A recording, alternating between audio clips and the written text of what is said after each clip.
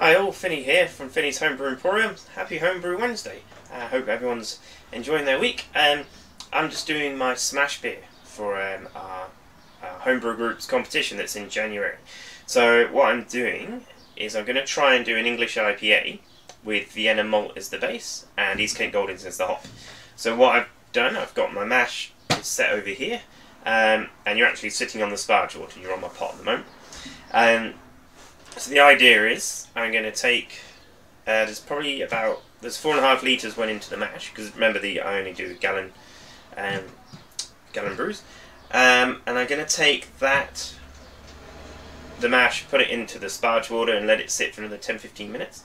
Um, and in the meantime, I'm going to use the runnings from that um, and boil it down and try and create some Maillard reactions and get some caramelness into the um, into the beer. So that way I pick up hopefully the toastiness and the um, from the Vienna malt as the being the base, and then those extra caramel bits hopefully come through um, and create that you know the sweetness to balance some of the bitterness in the malts that we've got. So um, I also tested the pH um, when I did it. So at the start, the pH at 20, I haven't done the adjustments yet for temperature, but at 26 degrees, um, without salt additions, the mash pH would have been at room temperature 6.3, uh, which is really high, um, which you know would have only been like 6.1 at, at mash temperature. So the adjusted calc, um, the adjusted one got down to 5.8.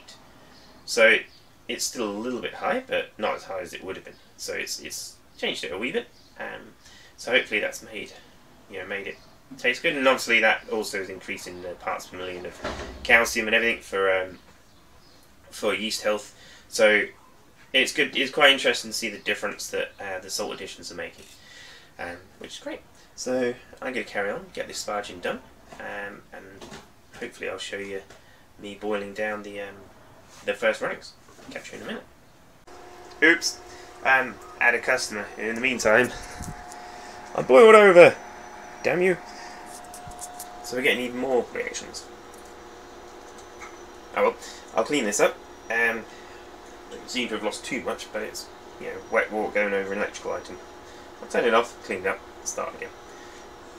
Okay, so we're all cleaned back up. So this is how much we're starting with. It's roughly about three litres. Uh, there's a little mark on the pot here that was three, three litres. So um, I'm going to boil this for a wee bit, and then we'll see what we get to.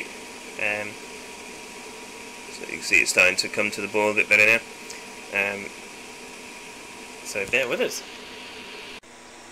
So to by the Power of Film, this is about a quarter of an hour later. So you can see from the rings on the top, it's boiled down a wee bit. Um, and we've got a nice, nice boil going on here. Um, so we'll just keep doing this until I feel we've done enough. Um, and we'll carry on. Alright, um, I'm just bringing up the main part up to the boil now. We've got, this is like the reduced bit, um, although we're going to reduce it a bit further because by the looks of it I've got probably a bit too much in there. Um, that's only at 60 something at the moment, so we'll let that boil. What I've got in here is the grains, I've put the grains back in and added some boiled water um, to bring it back up to around that 75 degrees centigrade because I want it up around 160 to 170 um, to try and pasteurize this because the spent grain that's in there I'm going to try and grow some oyster mushrooms on. Um, a while ago I bought some oyster mushrooms from the shop just across the way um, and made it run in some cardboard and initially I thought it was bung, but um, it's looking like it's it's actually worked. So I want to move it on to the next step. So I'm going to use my spent grain from today and add the card inoculated cardboard with all that mycelium growing for it into it um, in one of the Gladfield bags. Um, and then we'll see if we can get some oyster mushrooms growing, which would be great. Be really cool. Um, so keep you. I'll show you what I've done eventually at the end, and we'll keep a track on it and see how it goes. Here we are, is the brew. Uh, there's got a bit of trub at the bottom, but um, apart from that, everything went all right. Um, still trying to get used to the amount we get out of this, uh, the new boiler. Um, so I think I boiled for a wee bit too long. Um, gravity's right uh, for the beer, but yeah, we're just a wee bit.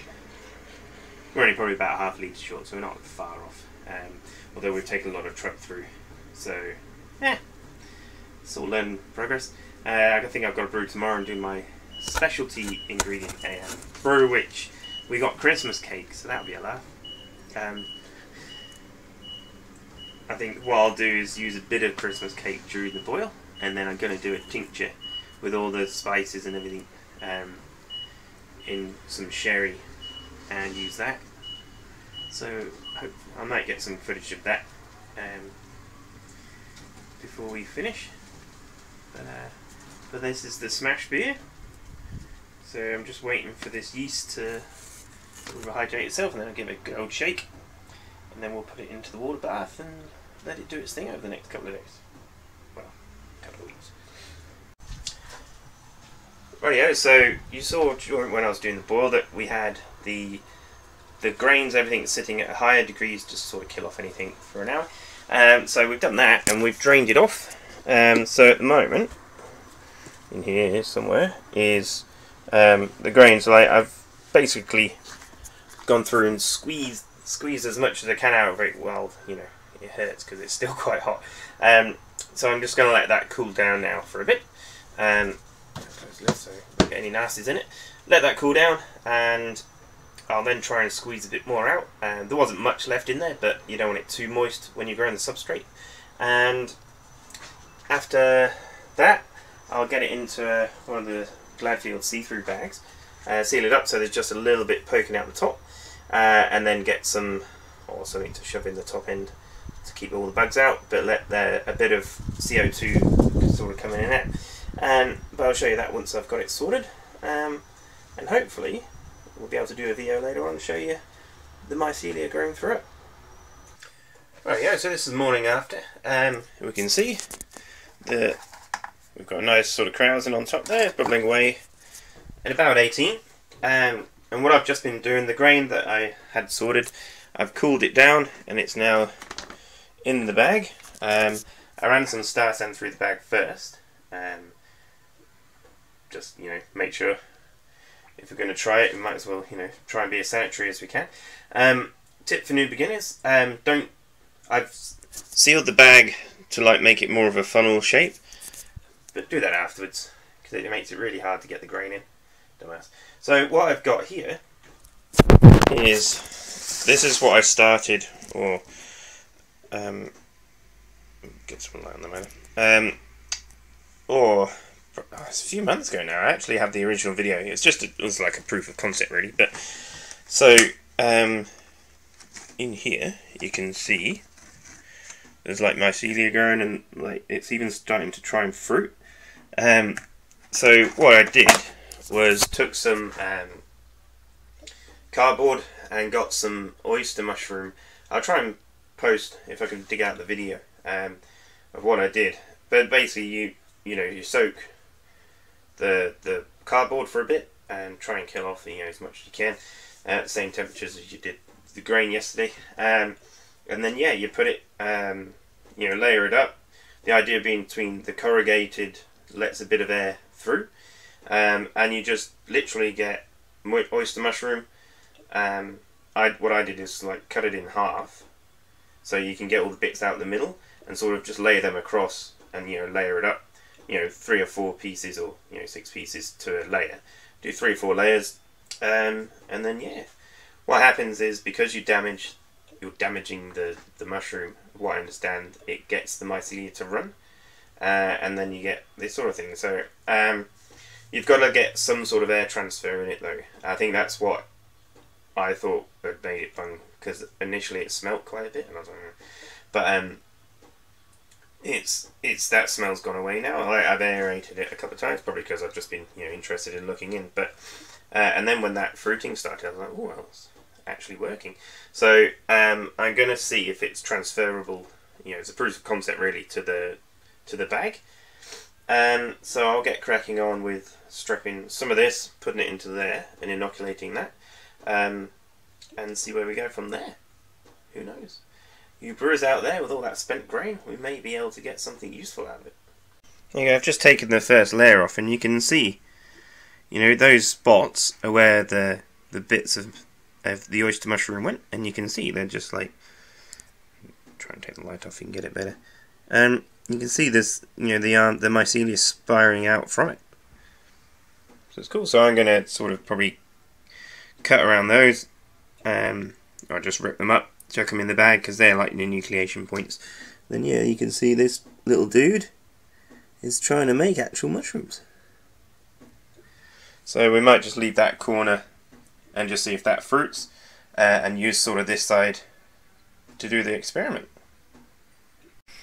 Rightio, so we've got a bit of a bung here at the top for as a bit of air exchange, and you can probably see in there there's bits of the cardboard that's sort of sitting in the green. and so I'll try and shuffle that around a bit more so it um so it works. But um yeah, who knows? We'll see. Hopefully in the next couple of weeks if we uh, start to get some mycelia grow through it. If we do, poke some holes in the side, or maybe like just looking how much is in it, I may fill it up um, with a bit more stuff and maybe use this to inoculate a slightly bigger uh, bag. You can, um, what I've seen people starting them growing on um, coffee grounds and stuff that they then inoculate a really big um, like bucket, uh, which would be good. So we'll see. We'll see if it works first, and if it does, great. Um, and the other little bit, um, I'm just going to leave here and see if this actually fruits to anything um, and then eat because that's what it's about so until next week happy homebrew wednesday um, and have a drink. Catch you soon